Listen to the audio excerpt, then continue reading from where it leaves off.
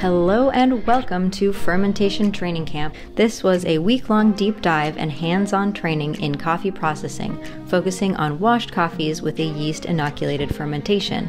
And if you don't know what that means, don't worry, I'll explain as we go.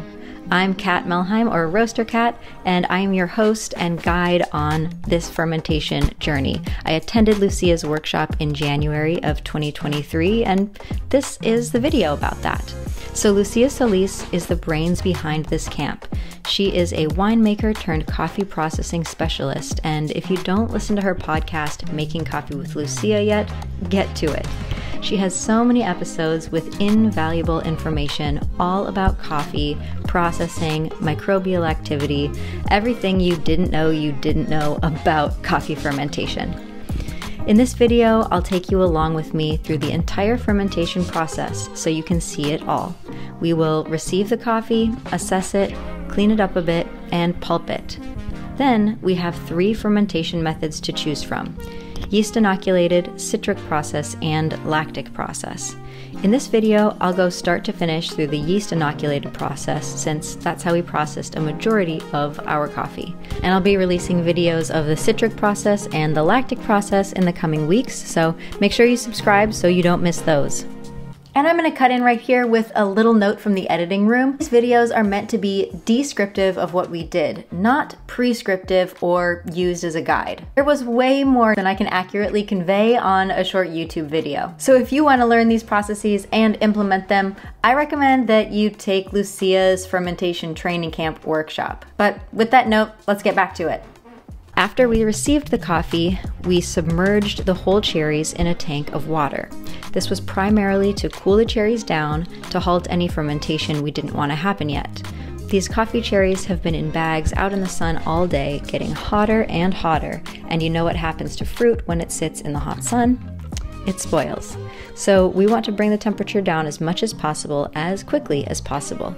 Submerging the cherries in water also allows us to do a primary float. This literally means that we remove the coffee cherries that float on the water.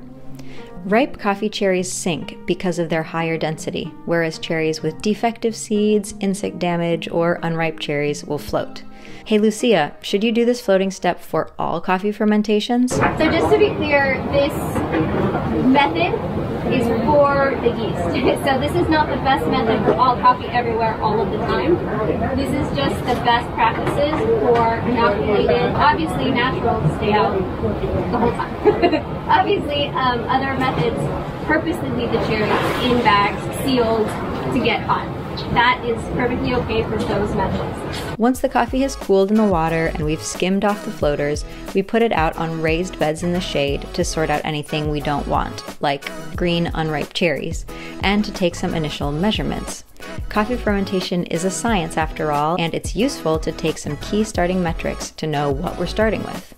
This is a maturity table, which is essentially a board with small holes laid out in a 10 by 10 grid, equaling 100 holes.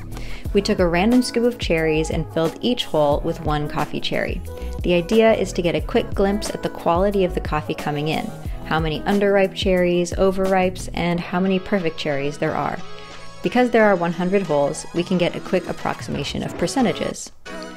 This information can tell us two things what we're starting with, so maybe different incoming coffees get different processes, and also feedback for the farmers and pickers of how much they're getting ripe, underripe, overripe, etc.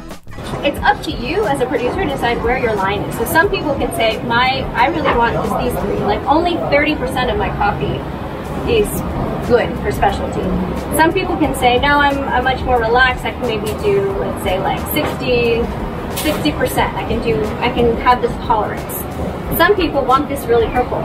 It's just about deciding what is your tolerance and maybe certain coffees will go towards one profile versus another. Question is, if I had only one tank of this very, very ripe and one tank of this less ripe, what would be the flavor difference? The answer really depends on what you do next.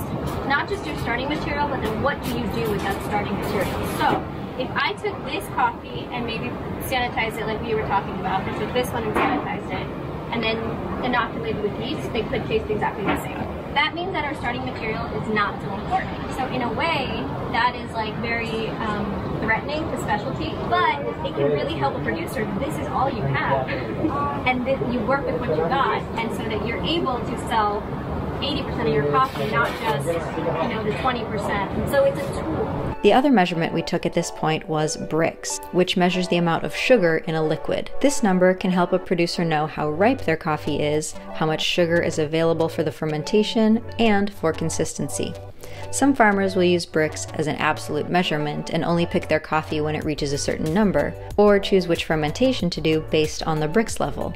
For our purposes, we weren't looking for one specific Brix measurement, but that the point was to see how our Brix changes over the course of the fermentation. Specifically, we're looking for the Brix number to go down over time because the fermentation will be eating up that sugar. We sorted the coffee for a while, spread it out thin on the raised beds, and left it overnight. Since this is a yeast inoculated washed coffee, the next step was to remove the skin from the seeds, or to pulp the coffee. This is a depulper, which pinches the cherries and removes the seeds, what we call coffee beans, from inside the cherry. Some producers will use water to aid in the pulping.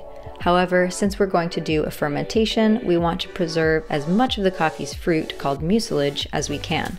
The mucilage is a thin, sticky sugar layer that acts as food for the yeast and bacteria in the fermentation. We did add a little bit of water to the fermentation tank in order to cover the seeds, which allows the fermentation to homogenize throughout the tank. So you'll see the water level is usually right at the top of the coffee.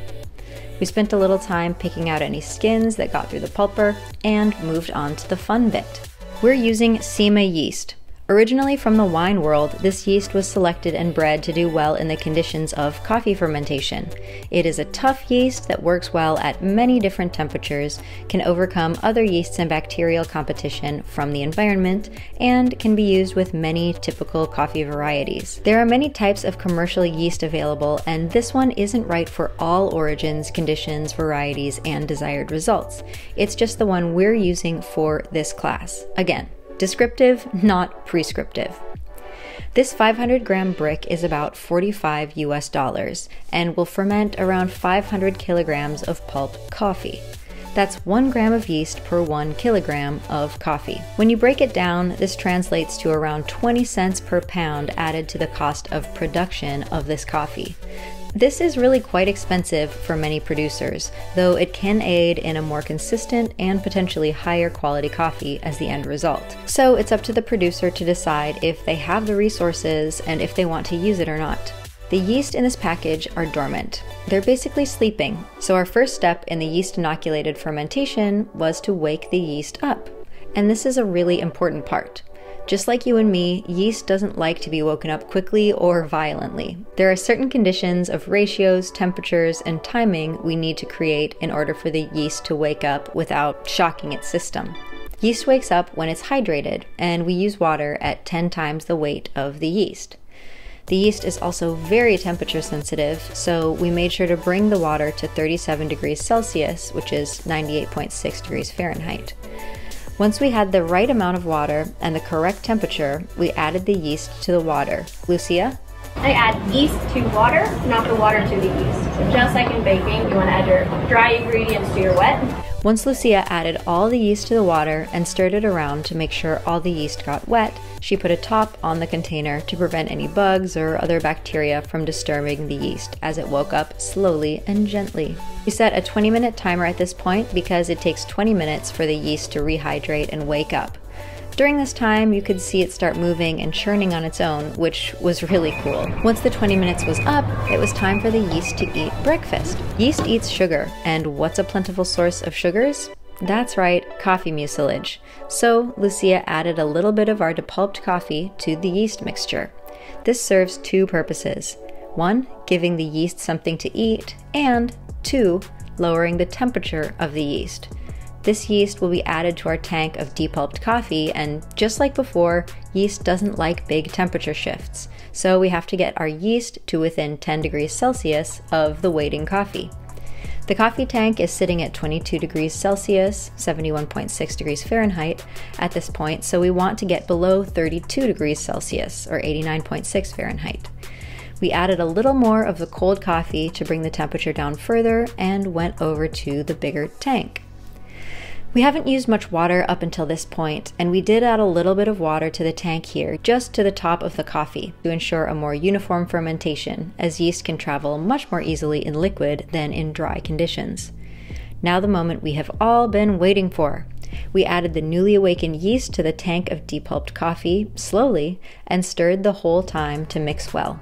And this is why it's called a yeast inoculated coffee, because we are introducing yeast and bacteria that we've chosen into a culture medium or the coffee. So we're inoculating the coffee with the yeast, thus, yeast inoculated. After that thorough mixing with a clean shovel, we topped the tank with a clean tarp and pushed out any air. With the tarp on, pushed all the way down on top of the coffee, this allows all of the coffee to be submerged, encouraging a more uniform fermentation and it protects the coffee from bugs, dust, critters, or competing bacteria in the environment.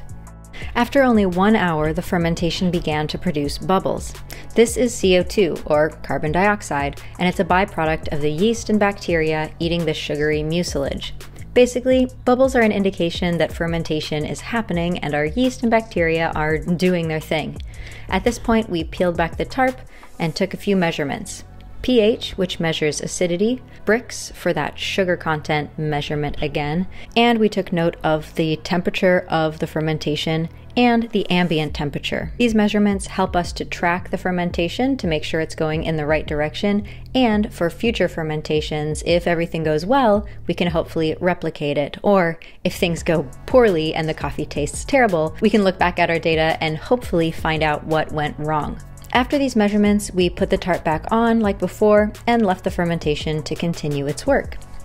After six hours, you can see how much CO2 has been released. This entire bubble is carbon dioxide gas produced by the fermentation, not air that got into the tank. When we peeled back the tarp, the entire tank was bubbling. You could hear it and you could smell the fermentation. If you imagine like fruit that's left out for too long, plus a whiff of bread dough rising, that's what it smelled like.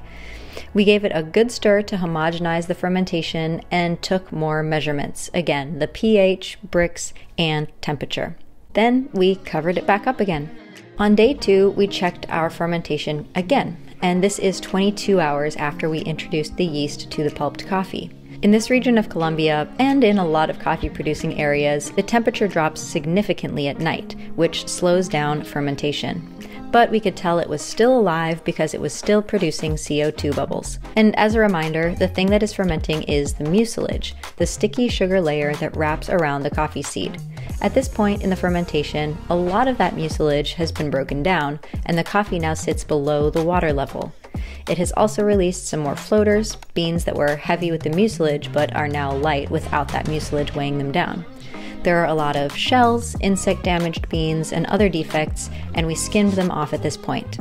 Again, we have a good stir and take measurements the pH, Brix, and temperature. Two hours later, or 24 hours into the fermentation, the ambient temperature has increased and the fermentation was going really strong, as we can see by this big CO2 bubble that appeared in just the last two hours. We knew we were going in the right direction, so we leave the fermentation to do its thing and we wait until day three.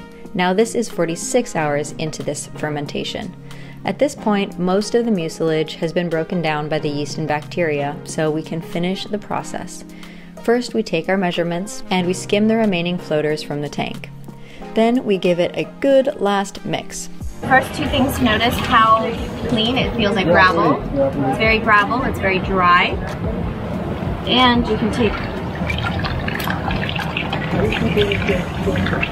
to me it smells like I was gonna say like a fruit cocktail, like um, cantaloupe, green banana, like there's a very banana, fresh. Yeah. One thing to note is that the fermentation isn't totally done, like the microbes haven't eaten all the sugars and then died.